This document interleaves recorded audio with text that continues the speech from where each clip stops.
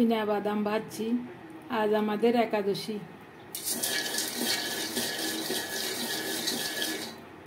এগুলি নারিকেলের শলা।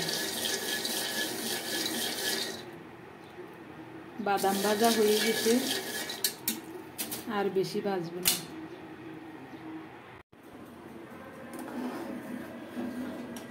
সন্ধ্যা হয়ে গেছে, এখন আমি সাগুর পায়েস রান্না করব। তো আজ আমরা এখনও তেমন কিছুই খাইনি। দুধটা জাল হয়ে গেছে। তো এখন আমি কোরানো নারিকেল দেব একটু।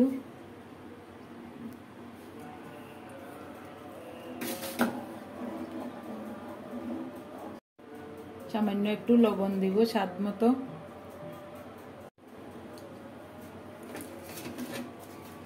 এটা হলো খাঁটি আখের গুড়। তো আখের গুড় দিচ্ছি। দুধটা ফেটে যায় কিনা এটাই ভয় লাগে।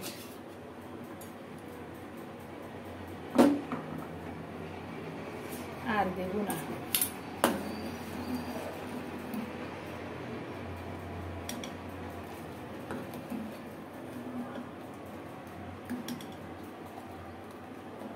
না, ফাটে নাই। এখনও তো ফাটে নাই, এগুলি হলো নারিকেল। তো ওই পার্থর বাবা বলছিল, কলা দিয়ে মেখে খেতে। তো আমি বলছি, একটু দুধ দিয়ে রান্না করি লই আজকে।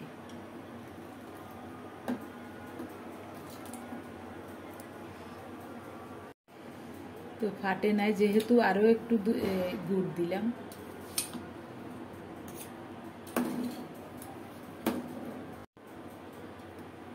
তো এবার ভিজানো সাকুটা দিয়ে দেব। সাকুটাকে আমি দুপুরে ভিজিয়ে রেখেছি।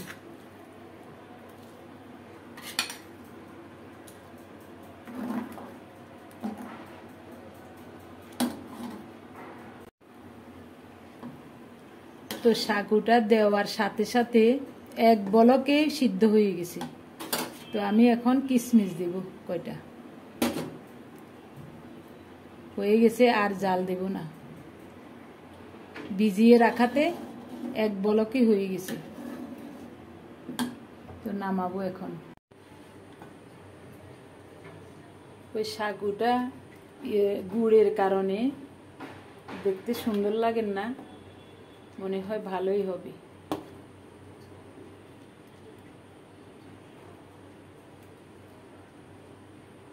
এটা পার্থর বাবার জন্য।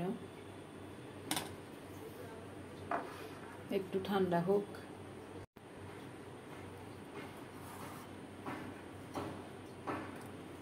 ঠান্ডা হয়ে গেছে উপরে, এটা হলো বাংলা কলা। তো বাংলা কলা একটু ছড়িয়ে দিলাম, এরকম পাতলা পাতলা করে কেটে। সন্ধ্যার আগে একটু বাদাম খেয়েছে, আর তেমন কিছুই করি নাই আজকে। গরমও লাগে অনেক, এ কারণে কিছুই করি নাই রাতের বেলা ভিডিওটা অন্ধকার অন্ধকার দেখা যাচ্ছে। তো পার্থর বাবাকে দিয়ে আসি এটা। তো এখন আমার জন্য নেব। পার্থ এখনও বাসায় নাই, ও এখনও বাসায় আসে নাই। বিকালে বের হয়েছে। ও বলছে, আসতে একটু দেরি হবে।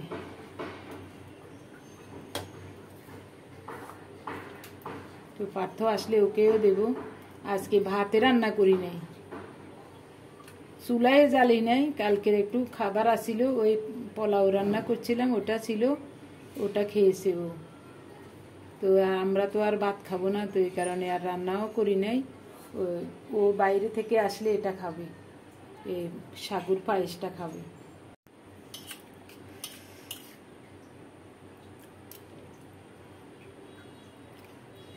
অনেক ভালো হয়েছে। তো নিজে রান্না করে নিজে ভালো বললে এটা আসলে ভালো হয় না। ভালো লাগে না শুনতে। তো এখন কি করব? আমরা ঘরের ভিতরে দুইজন মানুষ। তো পার্থর বাবা তো একটু কথাবার্তা কম বলে। ও বলে যে শোনাও যায় না এই কারণে। আমিই বলতে হয়, ভালো হয়েছে না মন্দ হয়েছে সব আমিই বলতে হয়। আসলে এটা ভালো হয়েছে। গুড় দিয়ে রান্না করাতে একটু দেখতে সুন্দর লাগেন না, কিন্তু অনেক টেস্ট হয়েছে।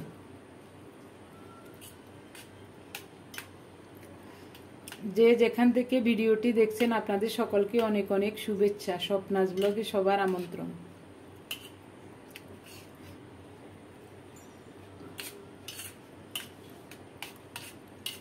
তেমন কিছুই খাওয়া হয় না সারাদিন।